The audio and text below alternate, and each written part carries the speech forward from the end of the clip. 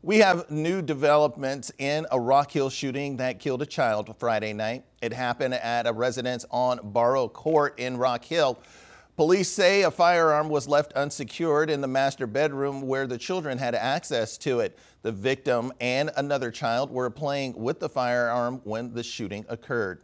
Rock Hill police are charging 39-year-old Kunle Laguda Jr. with unlawful neglect of a child for placing the children at unreasonable risk of physical harm or for having the firearm accessible. Laguda was also charged with unlawful possession of a firearm by a person convicted of certain crimes.